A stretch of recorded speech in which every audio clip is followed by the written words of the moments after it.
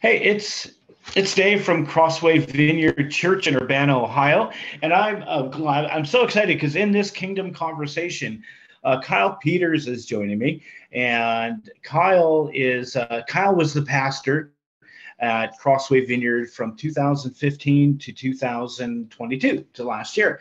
And I'm really excited. He's now in Arizona, but I'm gonna let him share some of those details. I'm a bit jealous because I actually I love the state of Arizona. I love the mountains, the desert, all that. Um, but Ohio's awesome too. But welcome, Kyle. How are you today? I'm doing well. It is it is beautiful outside. Not to rub it in or anything. We had sunny here today, but not as nice as probably where you're at. So. Well, if you can, yeah. you can rub it in in about a month, I'm sure I'll be saying different things. It'll be it'll be hot. Last time I was in Arizona, I remember it was 104 degrees. now they always say what it's a dry heat though, right? But it's still a heat. Yeah, it's like being inside of a dry oven. Yeah. Well, uh, again, I appreciate you taking time to connect with us, uh, Kyle. Kyle, um, I'm wondering if maybe you could just spend a few moments, like let us, uh, for folks who may not be uh, real aware, uh, let us know a little about about you, your family, and maybe kind of what brought you to Arizona. Yeah. So, my wife Melissa and I have been married for 17 years and uh, we have two kids, Micah and Elise. Micah's 12, and Elise turns 11 next week. Um, and let's see, I love to backpack. I love being in the wilderness. So I'm very happy being surrounded by mountains here. Um, my son is, he also loves the mountains and adventure. Um, my daughter and my wife couldn't care less about those things. Um, and let's see what brought us out here. So I was um, in pastoral ministry, um, I should say, you know, on, on staff as a pastor for 16 years. And um, just my wife and I have been on a journey um, over the last several years. We loved Crossway, we loved our time at Crossway, but there was this increasing dissonance um, with us in terms of the expression of church. Um, and I absolutely, you know, I, I know that God is active and working in uh, the the church as we know it um, today. But we just really, over a long period of time, discerned the Lord leading us into kind of a pioneering season of um, man. We feel like God's going to be shifting some things significantly in the church, and we feel called to be a part of that experiment, um, even if our experiment feels like you know seems like a failure. We just know that it's going to pave the way for. It's going to be a part of what God's doing. Um, so um, we were also in conversation with Putty Putman, um, who started the School of Kingdom Ministry in Champaign, Urbana, Illinois. And um, he eventually said, Hey, you know, I'm called to pioneer. Um, and um, I'm wondering if you guys are interested in joining my experiment. And so we said, yes, absolutely. Where at? And he said, I'm thinking Arizona. And we said, oh, shoot. That's, you know, thousands of miles away from everything and everyone that we know. But, uh, you know, we, we got clarity from the Lord and here we are. Yeah. Um, that that's yeah, that's what an interesting journey. I became a little bit aware of, I guess, maybe less traditional, like um, church approach to kingdom church life. At one point in Cleveland, we had connected with, um, oh, I forget the name of the org. They were like a church planting movement, but they weren't like the traditional church plant of sending building in one location and like it was more it was a home church and it was a bit organic and it was through building of relationships and they met in home so it was kind of um, you know that was their approach and there was a lot of benefit to that and it seemed you know i think they're still like going strong um, in building that. So can you um, uh, to as much as you know can you share with with with me a little bit about like what a, so uh, this uh, this approach this pioneering approach what has that like for what you know up to today, what what might that look like? What it looks like is super hard to pin down, but I'll tell you what it looks like currently. Um, one of the kind of primary um, shifts that we feel uh, is needed in the church is um, from centralized to decentralized. And there are some values and strengths of um, a centralized system. And so we, we want to create a decentralized system that still gets um, to lean into some of the strengths and benefits of centralization, if that makes sense. For example, um, you know, my family's tithing, our giving, um, we can we have freedom to give where we feel like the Lord's leading us. But when we, as a um, unit, as a as a group, our our church planting group, when we can um, have some cohesion to our giving, we can have a larger, you know, impact. We can we can hit kind of a, a larger systemic need. Um, and so that's kind of an example of centralization, a, a, value of centralization that we don't want to lose. But ooh, practically, one way that that looks like, um, like for our gathering, um, we have a portion of our gathering that we call the fluid portion. And in the fluid portion of the gathering, um, prior to meeting, we have an app that we um, we use where we can sign up for different parts of the gathering. For example, one person can sign up and say, "I've got a testimony I want to share." One person can say, "I've got a song that I want to lead." Um, somebody can say, "You know, I, I have a scripture that's really on my heart," or I feel um, like I want to kind of facilitate the prayer ministry. Um, or even like if you're familiar with School of Kingdom ministry, um, one big aspect of it was activations, where we kind of do some kind of training exercise in like words of knowledge or praying for healing or whatever.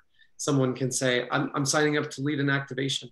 So anyway, throughout the week, we're kind of collecting these um, these different commitments to to lead these different aspects, and then every week we have somebody in the role of conductor, um, which currently I'm just kind of operating as the conductor uh, until we get more clarity on what exactly that looks like. But basically, my my role as conductor every time we gather is I look at that list of okay, this person has signed up for that, um, and as we go through the gathering, we're all kind of mutually discerning what's God doing, and we're holding those things loosely. You might have signed up for a testimony but it may be that the Lord just takes us in an entirely different direction, and we're going to co discern that. And the conductor is kind of the person who's the primary decision maker. Um, so the kind of the weight of that decision falls on me, but we're all looking to each other and together kind of just sensing what's God doing. I feel like maybe now might actually time for for Sarah for you to, share that scripture reading. What do you think? Hmm. Um, and so it's this fluid flow of um, getting to build one another up with the gifts um, that we are bringing to the table and the manifestations of the spirit in the process. So, does that, I mean, mm. that's probably about as much clarity as I have. Sure, sure. I will say though, um, for anybody who's interested in like, what is this thing? Um, Putty Putman, um, if you Google Putty, and I think his website is just puttyputman.com and he um, you can look up like different topics in his writings and teachings. And if you look up future church he has a section of different writings. He talks about the chasms that we feel called to face between church and society. Um, he has actually a great interview with uh, ken fish um, that he kind of walks through what is this thing that we feel called to build so anybody that wants to kind of explore more of this would love for you to check it out. Yeah, that's great. What we'll do, we will uh, in the subject matter below. Um, this will be on both YouTube and Facebook. We'll put a link to that site, and and also if it's okay, Kyle, maybe a link to your blog if folks want to sort of follow you closer on your particular journey. If that's okay, we'll put those links. That'd be great. Great idea. Yeah, I love how it's so you've got this approach where you're you're sensing some changes, some cultural changes in the way that uh, the church looks and represents herself, and the way that the church engages culture, and uh, you know, I think you know there certainly people will respond who may not like you know, may think of church kingdom as a building that they're going to go to on a Sunday, but you know, and that's not, you know, um, I mean, we we value what happens on a Sunday, but that's not church, right? Like we're, we're, people, we're the church, and that's just a place where we gather and we worship and equip, right. and that's kind of a thing. But so, but you're sort of taking those value that the equipping, the valuing, and you're approaching it more organically through relationships. Um, that's exciting. So, uh, you know, that's awesome. And, and I know a lot of folks are praying for you. And I will say this, um, not to embarrass you guys, but it was such a blessing stepping into Crossway Vineyard Church. One reason was because you guys are loved. It's we did Shannon and I, my wife, when we we moved to Urbana, Ohio from uh, Mankato, Minnesota where we were pastoring another church. And you know it's a it, it's just coming into a, a, space where the pastor that had been leading and investing in lives was still loved and still very valued. You still are today both you and melissa and your family. Like the work that you guys did in those years were just profound in, in the lives of the people in our church. You did a wonderful job loving them well mm. and loving them into who God really is making them to be. So thank you guys for your faithful service for those years. I'm sure pastoring's not always easy and we navigate a lot of different things, but um, you're still loved. And, and, and I, I remember saying this to you a while ago, like you may be in Arizona and I may be jealous of you because you're in Arizona, but like, you know, if you guys are ever, because I know you have family that's not too far from from us. If you're ever in town, uh, draw, you know, let me know because there's always a place at the pulpit for you. Like you'll always be a part of our church family, mm-hmm. um, even if it looks a little different for you and it's a warmer where you're at. So, but thank you guys for your faithful service. But now let me so to switch gears maybe a little bit. So this is an exciting work that you're open-handed with, and God is probably, you know, I would suspect he will continue to reveal and um, as you as you guide and has, as he guides and leads you but the journey to get even to where you're at and where you're at today um, one of the things that kyle and i were talking about is how so often in the church we hear testimonies and the testimonies are always I was in this really horrible time. God did this amazing thing, and you knew it was God because every domino fell just as it was like no challenges, no struggles, no everything happened like it was no no pushback, no surprises, and then and then testimonies always have a nice neat bow at the end. Mm-hmm. That's kind of how, and and I don't know about like we don't see that in the Bible, to be honest. And we don't see that, I don't see that like in our real life. So much of our life of following Jesus we're, is, a, is a wrestle. And we wrestle with ourselves. We wrestle with like letting God continue to transform and shape our hearts that we would look more like him. Like it's a it's a wrestle. It's a it's a challenge. And it's often um, not easy and it's full of disappointment sometimes. Like, so my question for Kyle was like, what, how could you speak to um, when you have something in mind that you really feel God's calling you to? Uh, but then like it looks different or or what do you do when god messes up your plans like how do we how do we navigate that how do we process that and what are the challenges the struggles and maybe the hidden blessings in those sorts of things yeah yeah it's funny when we like look from a distance at a story of god calling someone um, and them being obedient to that call it has this like romantic picture from a distance you know? Like oh it's so beautiful so good. And even like oh i wish i wish that was my story you know? But then when you're in the thick of it it's like god what are you doing? You know um, I remember early on in, in this discernment process, I was at the depot, wonderful coffee shop in Urbana. Mm-hmm. Um, and I was journaling, I was processing with the Lord. And one of the questions that I asked him was, okay, Lord, like I have some expressions here that, that feel like I'm getting to be who I am. Can you promise me that if I do this, if I move to Arizona and be a part of this, that I'll still have those expressions, that I'll get to be who I am? And the Lord's answer surprised me. It came to my heart right away. And it was, um, no, I can't promise you that. In fact, um, I'm going to ask you to lay those things down. Um, and I was like so angry when I heard that.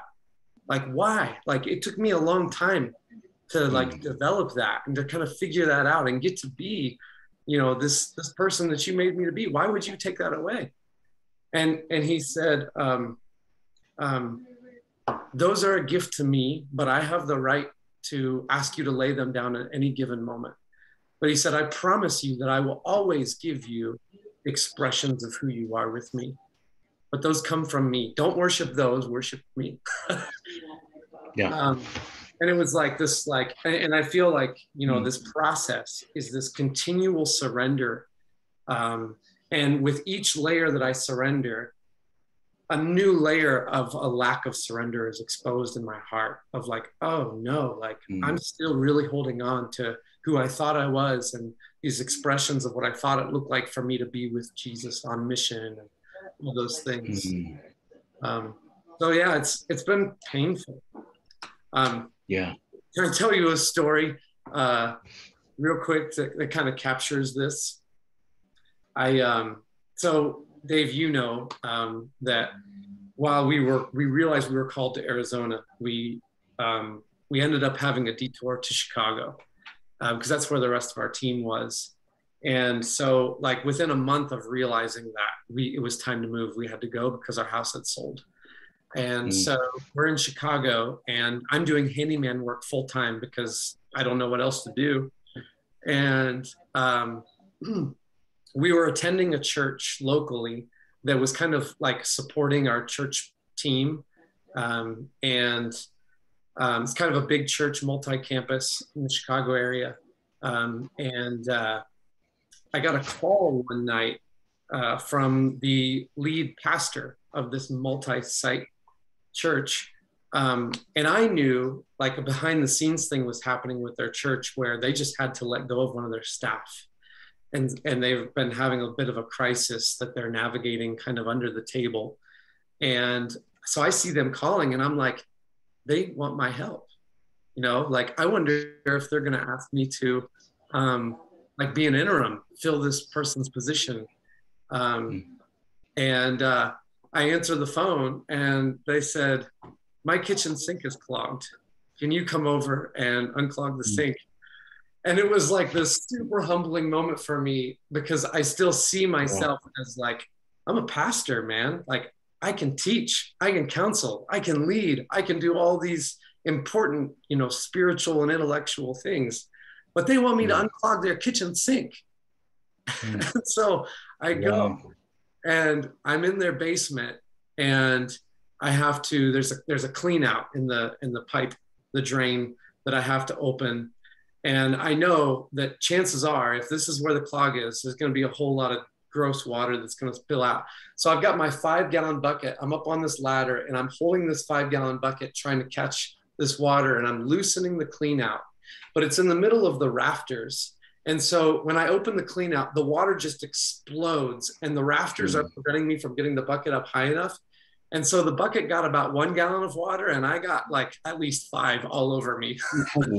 We're just like grinding kitchen water. You were baptized, brother. and it was like it, it was just like another moment in in this last year where I'm like I'm I'm with the psalmist of like what are you doing? Where are you, God?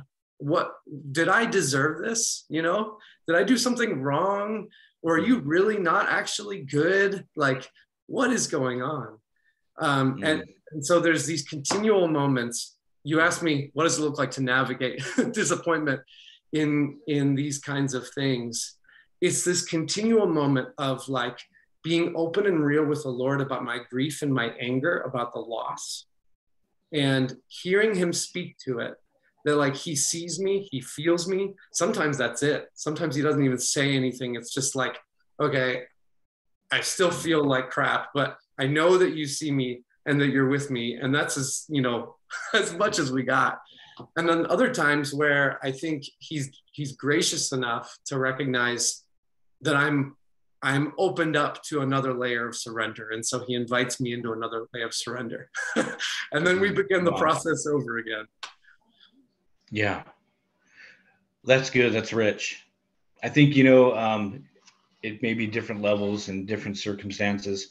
I think a lot of a lot of folks if they're honest can connect with that sentiment that and in something you you said in in that in the context of that like the challenges in when you're faced in living through circumstances like that like ultimately like is god good right?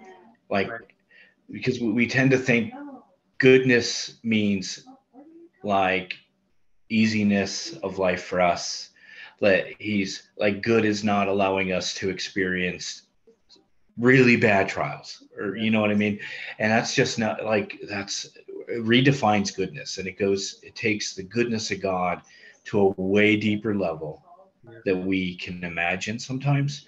And um yeah that's that's that's and i think like even spiritually like you know as spiritual warfare was like like the enemy comes at us from that angle of like god's not good not good not good. If he was good if he really loved you this wouldn't be happening.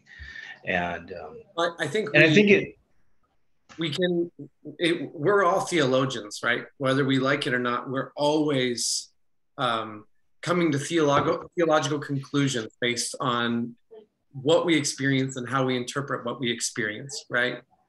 And I, I think often that question of the goodness of god whether we mean to or not we often define it based on our circumstances. By our level mm-hmm. of like the how we measure success and, and comfort and all of those things. And meanwhile like he's a good father and he cares about my heart.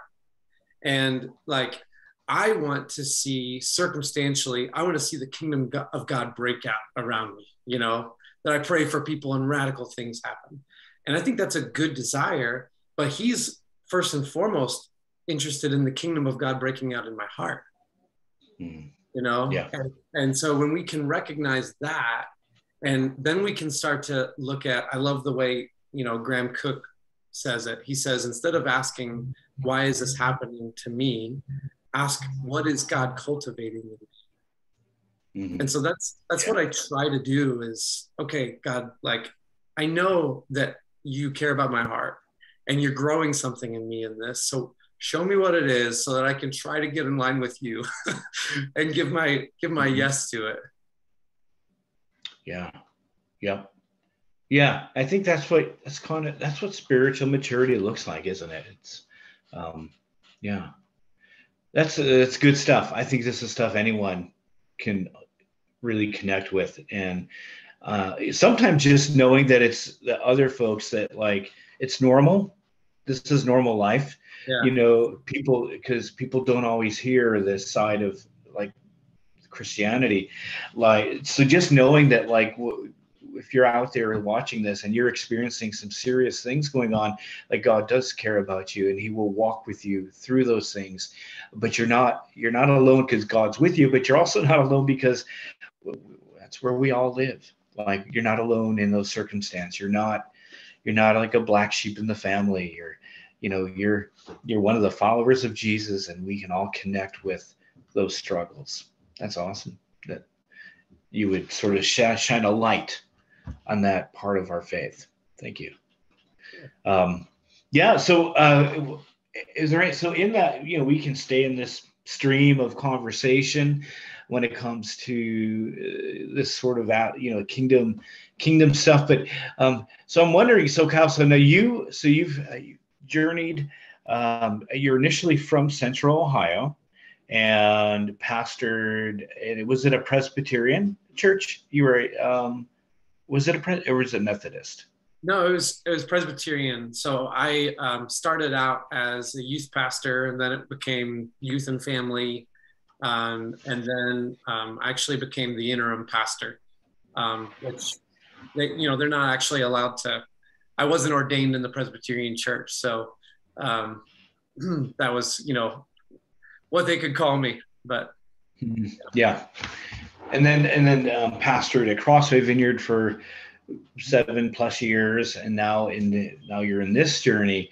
So you've seen uh, different expressions of the kingdom through different uh, flavors of the church uh, you know uh, on your journey. Uh, what what would you say? So as a as a as a person who may be watching this and maybe they feel a sense of unsettledness um, i think one of the things that i think is and I still hear it. You know, I don't want to like draw too much on you know kind of keep reaching back to covid like kind of a thing we can tend to do that sometimes but there was a shift i think and god used and it's still using that season to i think uh, direct his church and point us in different directions so if and kind of one of the things like that came out of that and i don't know if folks have really processed it really well is feeling this unsettledness of like I don't want to go back to like what my life was like in 18 19 2018 19 or whatever but i feel like god's shifting something in my heart. It's kind of like that discernment process for you guys. You knew you just felt in your heart there was an unsettledness maybe an uh, an unfulfilled i don't want to put words in your mouth but maybe an unfulfillment and and this in realizing what God was calling you guys into when it came to kingdom and culture. Um, so if somebody's in that spot, because it may, it may, now you, you've seen enough expressions of church and kingdom where like this, you know, may not be super, for some folks, it's maybe super foreign, like to move away from traditional, what they think of as church like is there something wrong in what i'm thinking? Um, this unsettledness um, depending on their experience. But i think god is shifting our hearts as the church. If somebody's in that spot that you were in i don't know maybe a couple years ago when you guys were really discerning through this or maybe it was longer than that like what would you what would you say to a person like that? How would you encourage encourage somebody to work through that? Are there resources that they could go to yeah. Um, there's a book, I'm trying to remember the name of it. I think it's called What's Your Decision? um, I think uh, John Lieb, um, your, your regional uh, vineyard pastor, I think he's the one that recommended it to me. Um, I'd have to go back and look at the title. I can send that to you. But basically, it, it kind of asks that question of what does it look like to faithfully make big decisions? And one of the biggest things I walked away from that was when you're experiencing that unsettledness with your current context, be really careful um, not to let the discomfort of your current situation drive you to a quick and rash decision. Um, and and he actually the book references um, Ignatian spirituality, um, he talks about consolation and desolation. You familiar with that? Yeah. Yep. Yeah. Consolation meaning um, literally it means with the light, and desolation means without the light. Um, and so we can go through seasons of consolation and desolation. Uh, consolation, those are the seasons where, man, I feel really close to God. I can feel his presence. Um, joy and peace come easy. Um, mm. And then there's seasons of desolation where I can't feel God's presence. It's not that He's not here, it's that my ease of connection with Him is not here. Um, mm. And therefore, it's really hard to be in a place of peace really hard to be in a place of joy. So the book really says when you recognize that you're in a season of desolation, mm. you can't really afford to make big decisions. Um, you have to be willing to wait that out. mm. When I read that, yeah. I was like, no, that's the last thing. Not the answer I wanted. Save me from my circumstance. And God's like, oh, we don't, we, we, we don't like discomfort and uncertainty, do we? Yeah, yeah. And so that helped me to like, okay, I've got to shift gears to from like, it's not that the unsettledness is wrong. Like, there might be something legitimate about, like, I think God might be calling me in a different direction. That might be absolutely valid, but your ability to discern that with clarity is diminished until you can get to that place of peace. Yeah. And so, you know, it's like when you have that unsettledness and you're starting to think about alternative routes you could go, mm-hmm. it's like there's some internal relief you feel when you imagine yourself in that other place. Mm-hmm. But in reality, if you get to that other place without settling the internal stuff that God is wanting to address, it's just gonna you're gonna go on a, a repeat cycle, right? You're gonna mm-hmm. fall right back into it. Yeah and so there has to be like this this surrender to and like embracing of the place where god has you and like a determination that like god i know that you're here and i know that i can experience you here. Um, and so i'm going to i'm going to solidify myself here. I'm going to stay rooted. Um, and and for me that's what it was. You know it was a couple of years before we moved that we started to feel like I think God might be calling us elsewhere. But the pain of the the things that were happening in our circumstances was so important to our growth that God did not release us. Um, and it was in the process of like of saying yes to like like just being present in that place um, that then you know eventually we were able to move forward in that discernment process and say, okay, our internal world is clear enough that now we can look at this decision from a place of peace. We don't need things to change in order to be okay. And, and, and now we can be trusted, you know, to faithfully discern what's wise and where's God leading. Yeah. Yeah. That's good. That's rich. I'll put a link to that book as well for folks if, if that's um, uh, as a resource that could be really helpful. Um, I'll find the, the, name of it and I'll put that below as well.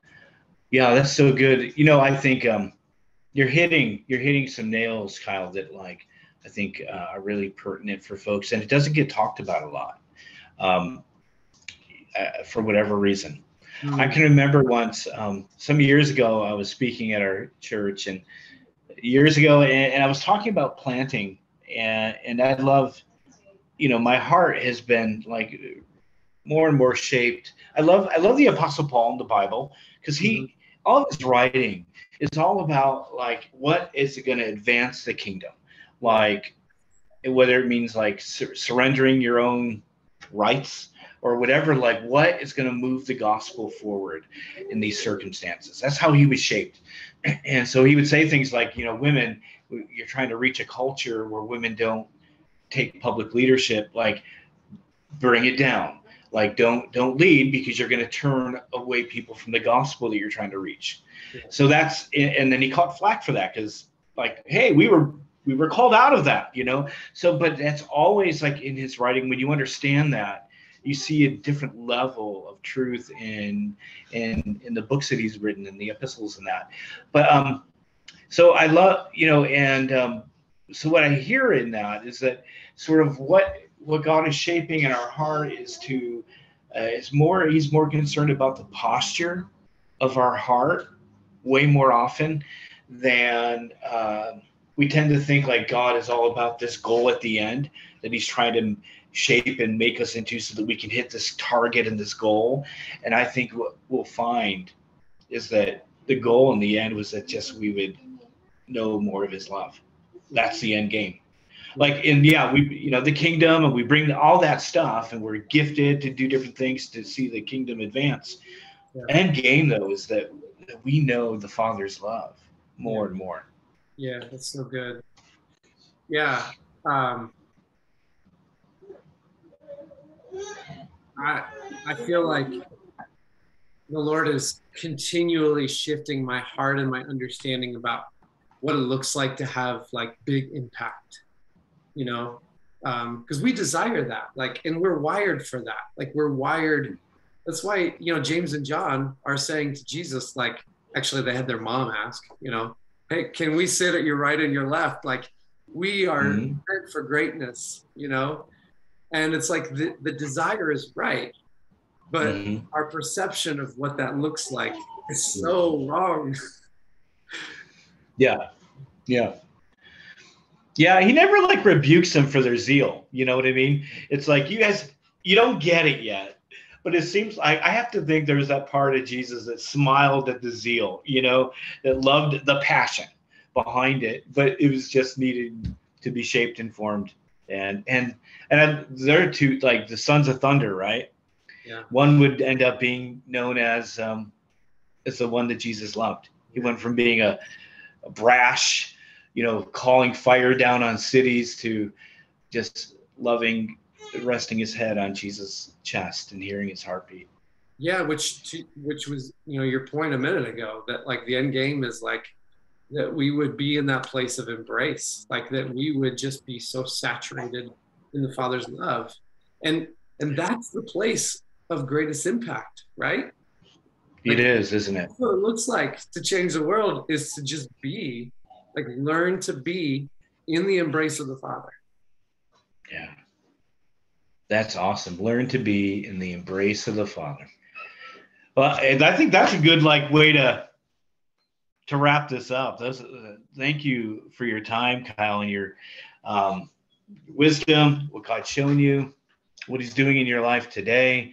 Uh, we continue to, as our church, as Crossway Vineyard, we continue to pray for you guys and you're you continue to be a part of the Crossway Vineyard family, and um, yeah, just know that you're you continue to be well loved and missed, and um, and and I have this uh, this like incredible opportunity. I've had this incredible opportunity to join a family that was loved well. I didn't have to come in and you know bandage a lot of wounds like that was you know um, folks were were loved well. So thank you for your pastoral heart and and the wisdom. Yeah.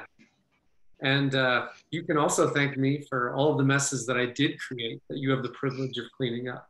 So you're welcome. Well, come on, like we've got to leave some mess, right?